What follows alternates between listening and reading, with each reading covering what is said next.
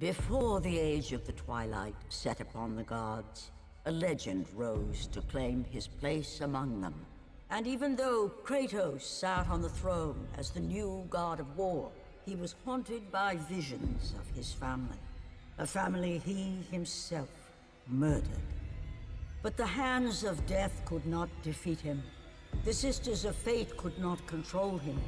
And on this day, the man, the legend, Kratos, will have his revenge.